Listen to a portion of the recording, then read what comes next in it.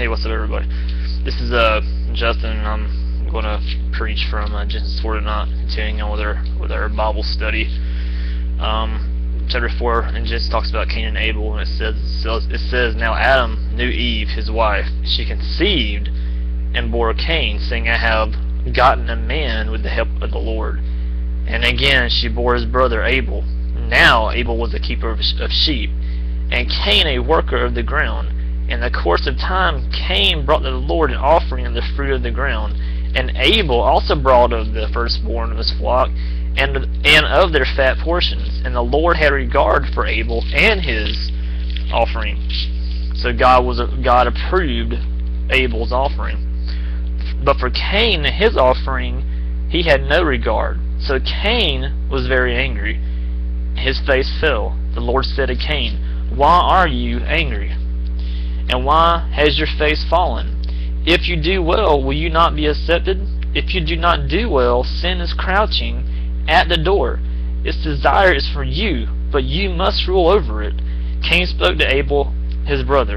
And then they were in the field. Cain rose up against his brother Abel and killed him. Then the Lord said to Cain, Where is Abel your brother? He said, I do not know. Am I my brother's keeper? And the Lord said, What have you done? The voice of your brother's blood is crying to me from the ground. So God already knew that Cain killed Abel. And now you are cursed from the ground, which has opened its mouth to receive your brother's blood from, the, from your hand. When you work the ground, it shall no longer yield to you its strength. You shall be a fugitive and a wanderer on the earth.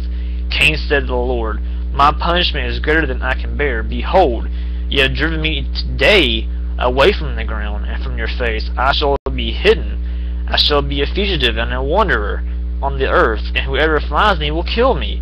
Then the Lord said to him, Not so.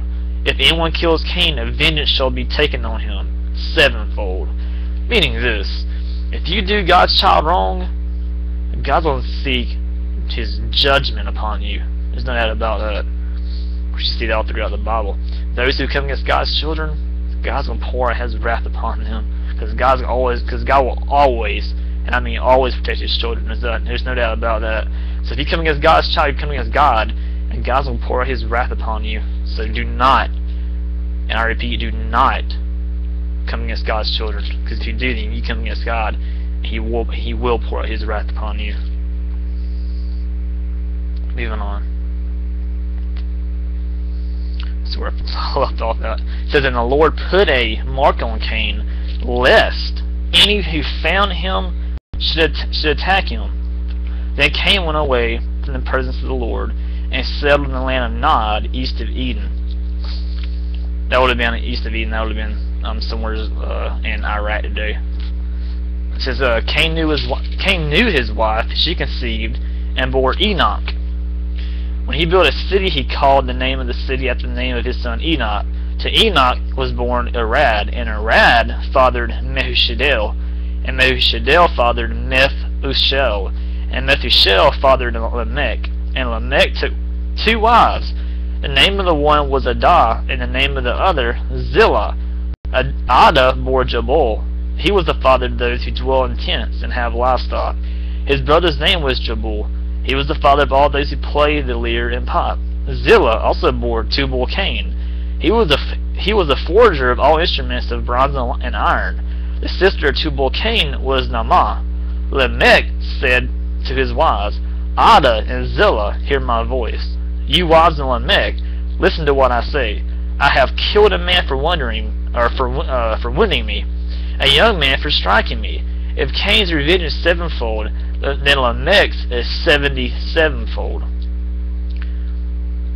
Um, so basically, what what uh oh, what um Lamech um or what what what they're saying is um if anyone you know kills Cain, then of course um or know, what it's saying is what was basically saying is uh if Cain's revenge is sevenfold, um, then Lamech's is seven seventyfold.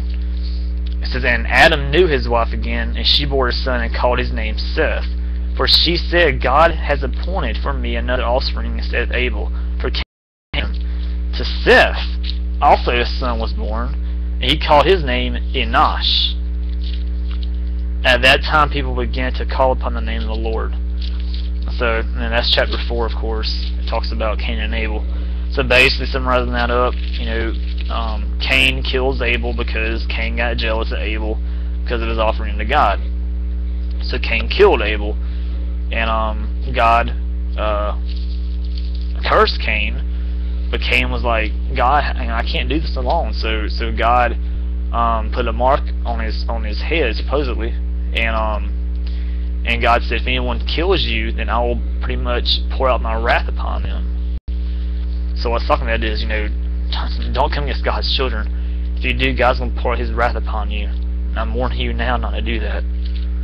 There's no doubt about that. If you come against God's children, God will seek justice for His children because He's a loving God. Because He's because he because he because uh because of course to the Christian He's our dad, and your dad's going to protect you no matter what. So, and just moving on from that, I mean, that's what pretty much the in chapter four is talking about is a Cain and Abel, like I just said, and um, and so uh, chapter five is next talks about uh, Adam's descendants to Noah, and um, I'll be back with that. So we'll be right back.